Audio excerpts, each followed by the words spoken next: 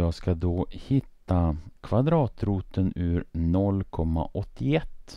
Och då är det så här att 9 gånger 9 det är lika med 81.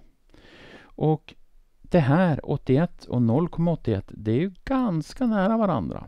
Så det är faktiskt så här att 0,9 gånger 0,9 det är detsamma som 0,81. Vi kan dubbelkontrollera det här i miniräknaren. 0,9 gånger 0,9 det är detsamma som 0,81. Alltså, om jag nu har kvadratroten ur 0,81 så är det detsamma som 0,9.